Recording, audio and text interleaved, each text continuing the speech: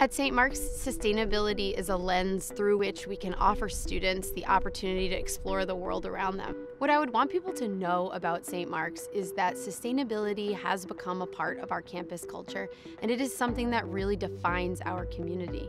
Not only have we outlined the ways in which we want to move forward as a community, but we are educating our students to go out into the world and make that same difference. I think that St. Mark's, especially in the past four years that I've been here, we've really tried to make sustainability a key part of being a St. Marker, just like being on a sports team is a key part of being a St. Marker, and being a leader in the dorms is a key part of being a St. Marker. Sustainability and our resp- individual responsibility to be sustainable is a really big part of the St. Mark's experience. At St. Mark's, our students are educated day by day in big ways and little ways because we help our students develop good habits and we also help our kids understand the imperative to do the right thing day after day. Over the last six years, we've gone from a school that cared about sustainability but had no formal commitment to the process that is required to make this campus the sustainable place that we want it to be.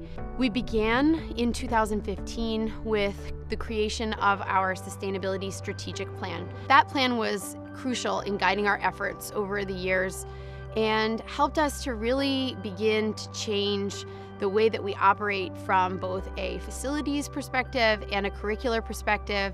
The Sustainability Strategic Plan provides an outstanding roadmap demonstrating the progress we are committed to making year to year to year to reduce our carbon footprint and to do the right thing in all manners regarding sustainability.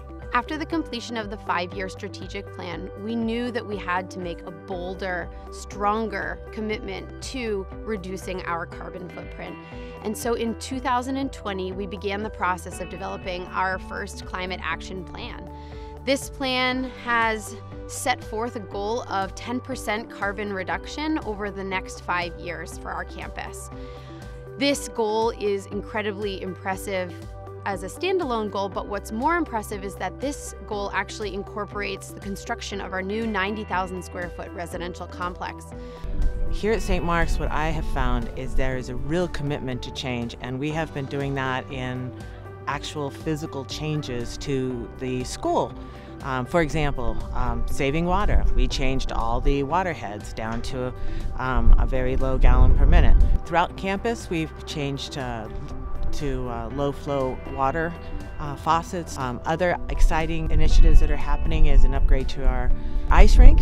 Uh, we are adding um, low emissivity ceiling, um, all LED lights, and we are also insulating the walls and um, we'll be able to have a much more efficient ice rink and, and hockey program. In 2019, we replaced all of our old mini school buses with fuel efficient diesel vans that can transport 14 passengers using much less gasoline. In order to facilitate faculty and staff who commute to campus using electric vehicles, we installed four electric vehicle charging stations. In 2016, we installed a solar field in order to reduce our reliance on non-renewable energy sources. One of the most exciting projects on campus right now is the construction of the new residential dorm. Not only will this be the most wonderful residential facility for both faculty and students, but it's going to be a physical demonstration of our commitment to sustainability. Of course, our work here at St. Mark's will never really be done because technologies are changing and expectations are changing, and our planet needs us to be responsive to all of these changes.